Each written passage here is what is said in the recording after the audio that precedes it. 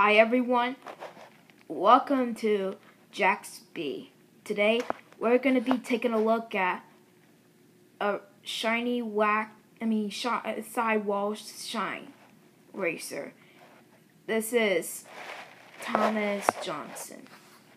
Uh, this number is, four, is 74 and uh, this is a custom, not an only real release release date. So we could probably just know this sign is right here. And there's the back. There must be more Cars 3 diecasts. And there's what is said right here. Blindsided by a new generation of piston cup racers, Lightning McQueen finds himself suddenly pushed out of the sporty loves. To get back on top, he would need the help of a young race technician inspiration from the late fabulous Hudson Hornet, and guidance from his fuel friends along the way. So eventually, we could probably just know about every time. It's just, you could probably know for, uh, I think I just gonna find out, and whenever you like. So let's open this package and see it was.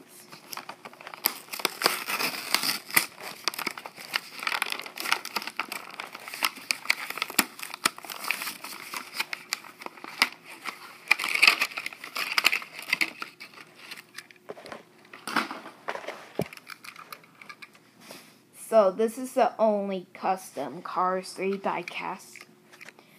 I just did Sharpie. It did in Bobby Swift.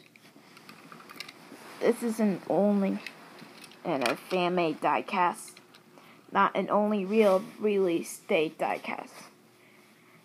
Like from another time, from another thing, whoever just saw. Like I just did on Bobby Swift to Thomas Johnson. Look, he doesn't have a name tag right here, but Lightning, Cal, Bobby, and Brick does.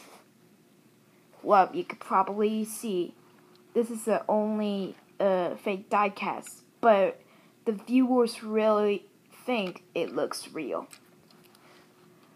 Like if everything, whenever you saw, and whenever you like, it's just whenever you just saw. You can see there's a few gray onto his tires. And, and there must be something. looks great. Alright. So whenever you like, I'm gonna find out whenever I saw.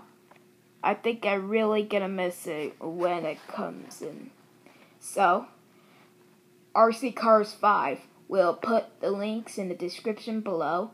He will subscribe to my channel and he'll say, Jax B, your custom Cars 3 diecast is amazing. Subscribe to my channel, put the links in the comments in the description below, and give it a thumbs up. Bye now.